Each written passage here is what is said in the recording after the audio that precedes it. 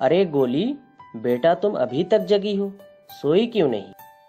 पापा आप मुझे ये बताओ कि आप रोज तो सात बजे तक घर आ जाते हो लेकिन आज आप दस बजे घर आए हो तो आपको घर आने में देरी क्यों हुई? बेटा गोली मैं ऑफ़िस से तो रोज के समय ही निकला था लेकिन रास्ते में कुछ लोग सड़क पर बैठे थे तो मुझे लंबे रास्ते से घर आना पड़ा जिसकी वजह से मुझे देर हो गई। लेकिन पापा सड़क पर तो गाड़ियाँ चलती हैं तो लोग सड़क पर क्यों बैठे थे?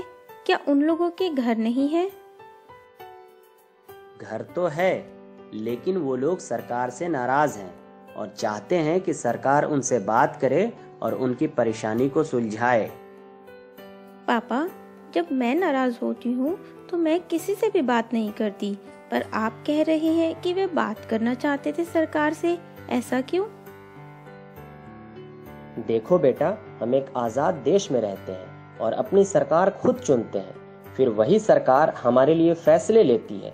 जैसे स्कूल में कितनी फ़ीस जमा होगी, खाने का सामान और पेट्रोल जैसी चीज़ों की कीमत क्या होगी, सभी लोग कितना टैक्स भरेंगे वगैरह वगैरह।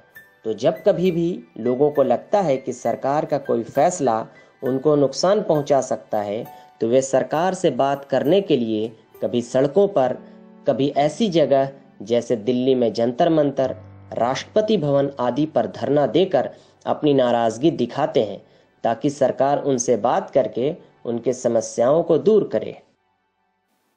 ठीक है पापा आगे से मैं भी नाराज़ होने पर आपसे बातचीत करके अपनी परेशानी हल करूँगी। तो क्या समझे इन छोटे बच्चों के बड़े सवालों से?